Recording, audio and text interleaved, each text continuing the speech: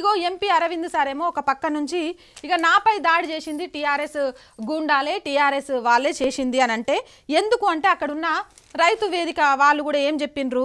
ఇక ఈ దాడికి అను మాకు ఎలాంటి సంబంధం లేదు రైతులు గట్ల చేయలేదు అని గవాళ్ళు చెప్పిండ్రు.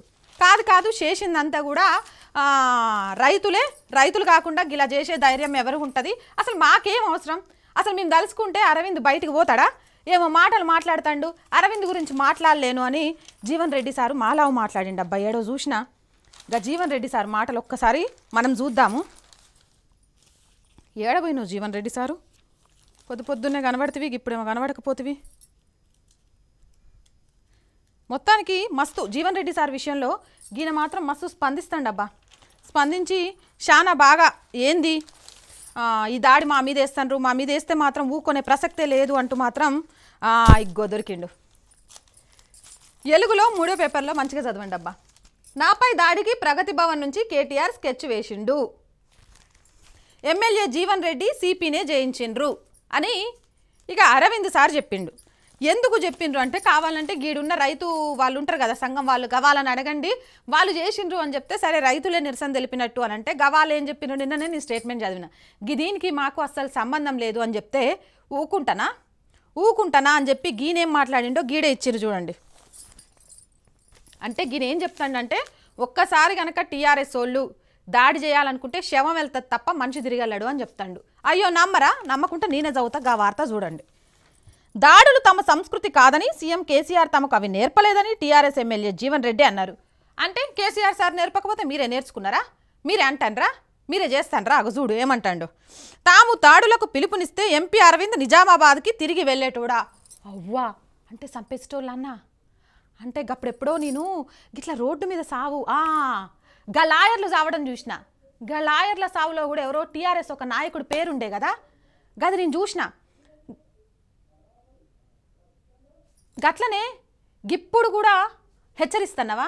నిజంగా కూడా మా టీఆర్ఎస్ వాళ్ళు తలుచుకుంటే గట్ల శవమే వెళ్ళేది నువ్వు వెళ్ళేటోడివా అని చెప్తున్నావు? అంటే ఇక ముందు బయటికి వస్తే టీఆర్ఎస్ వాళ్ళు తలుచుకుంటే శవం అవుతావని చెప్తున్నావా? ఏమో అన్న నాకైతే అర్థం కావట్లేదు. తిరిగి వెళ్ళేటోడివా అంటే దీంట్లో అర్థం ఏంది?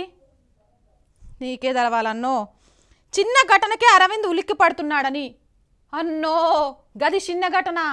కత్తి తీసుకొని కర్రలు తీసుకొని పోలీసులు ఆపుతన్న ఆపకుండా గంత జరిగితే గది చిన్న ఘటన. అంటే ఏందన్నా నువ్వు ఆ బీహారు పాకిస్తాను గట్ల చేద్దామనుకుంటారా ఏంది తెలంగాణ అని అంటే గవాల గలాంటి ప్లేస్లలో అయితే గివి చిన్న ఘటనలే. కానీ గీడ చిన్న ఘటనలు ఎట్లయితాయి? చిన్న ఘటనలు అని చెప్తున్నావంటే నువ్వు దీనికంటే పెద్ద స్కెచ్ చేసినట్టున్నావన్నో? గిదే చిన్న ఘటన అని మాట్లాడుతున్నావంటే? కేసీఆర్ని అన్ని మాటలు అంటంటే తమకెంత బాధ కలుగుతుంది? అవునన్నా? కందకు లేని దురద కత్తికెందుకన్నా? నేను అడుగుతా. కంద. కేసీఆర్ సార్కి లేదు దురద. కేసీఆర్ కొడుకు లేదు దురద. కేసీఆర్ కూతురుకు లేదు దురద. కేసీ కేసీఆర్ అల్లుడికి లేదు దురద. కేసీఆర్ సడ్డకుడు కొడుకు. పొద్దున్న లేస్తే పక్కనుండే గాయనకు లేదు దురద. నీకెందుకన్నా?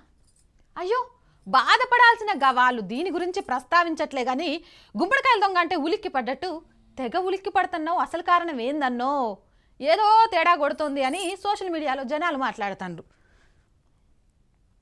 బుధవారం టీఆర్ఎస్ టీఆర్ఎస్ ఎల్పీతో ఆయన మీడియాతో మాట్లాడారు.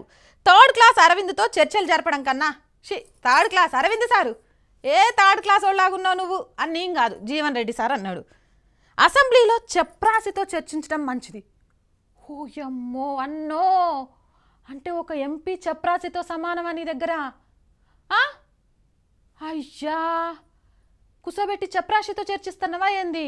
లేకపోతే ఇక టీఆర్ఎస్ వాళ్ళు తప్ప మిగిలిన వాళ్ళంతా మీ కంటికి చెప్రాసిల్లా కనబడతానరా అవన్నా మంచిగా చెప్పినావు. ఏమంటారు? ఇక అరవింద్ సారా ఇంకొకరితో చర్చ జరపడం కన్నా చెప్రాసితో చర్చ జరపడం బాగా మంచిగా చెప్పినావు. చెప్రాసితో ఏం చర్చలు జరిపినావు అన్నో?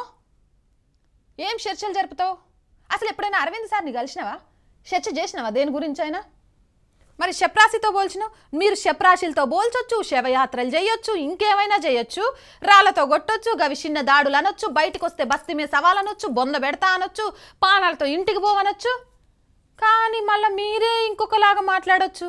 ఈ రెండు నాలుకలు ఉన్నాయా ఏంది జీవన్ రెడ్డి సార్ అన్న నీకు మొత్తానికి ఎం అరవింద్ సార్ ఒక చెప్రాసి కన్నా తక్కువ.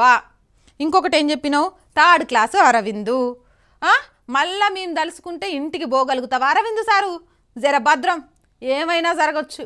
గిన గింత పత్రికాముఖంగా మీడియా ముఖంగానే గింతగనం మాట్లాడిండు అంటే గి వీళ్ళు ఏం చేయడానికైనా వెనకాడరు అనడానికి గివి ఒక సంకేతాలు అని జనాలు ముచ్చట్లు పెట్టుకుంటారు ఏదేమైనా సరే ఇక అరవింద్ సార్తో పాటు బీజేపీ నేతలు కూడా జర జాగ్రత్త అబ్బా. గిన గింత బహిరంగంగా చెప్తాండు మేము దలుచుకుంటే మళ్ళీ ఇంటికి వెళ్తారా? వెళ్ళగలుగుతారా అని చెప్తాడు అంటే మరొకసారి సోచాయించుకోండి. మరి గివి గిలాంటి వార్నింగ్లు ఇచ్చినప్పుడు పోలీస్ డిపార్ట్మెంట్ గివిటి మీద స్పందించదా? అంటే నాకు ఒక డౌటు. అంటే ఎవరైనా సరే ఇట్లా భయపెట్టే విధంగా బెదిరించే విధంగా ఉంటే వాళ్ళ మీద యాక్షన్లు తీసుకుంటుందని నేను ఏడో విన్నా మరి దీనికి ఇట్లా పత్రికాముఖంగానే వార్నింగ్లు ఇస్తుంటే ఎందుకు యాక్షన్లు తీసుకోవట్లే నిన్న బొంద పెడతా అన్నాడు? గివాళ్ళేమో తిరిగి పోతాడా అని అంటాడు. అంటే గింత డైరెక్ట్ బహిరంగంగా బెదిరిస్తుంటే పోలీసు వాళ్ళు ఏం చేస్తారు అంటే జీవన్ రెడ్డి సార్కి కేసీఆర్ సార్కి మంచి అవినాభావ సంబంధాలు ఉన్నాయి గాడ ఫామ్ హౌస్లోనో ప్రగతి భవన్లోనో స్విచ్ చేస్తే గీడ మీడియా ముందు జీవన్ రెడ్డి సార్ అనే ఒక లైట్ వెలుగుతుందని తెలిసి పోలీసులు గమ్మునుంటాన్రా. ఎందుకంటే గిట్ల బహిరంగంగానే బెదిరింపు రాజకీయాలు బెదిరిస్తుంటే ఎదుటి వాళ్ళని గా బెదిరింపులు అనేవి తప్పు. అది ప్రెస్ మీట్లో మాట్లాడిని ఇంకెక్కడ మాట్లాడిని ఇంకెక్కడ మాట్లాడిని. గలాంటి బెదిరింపు ధోరణులు ఉండొద్దు అని గవాలు చెప్పట్లేదంటే దీని వెనక ఏదో ఆంతర్యం ఉందని ప్రజలు మాట్లాడుకుంటారు. మరి గది కూడా చూడాలి.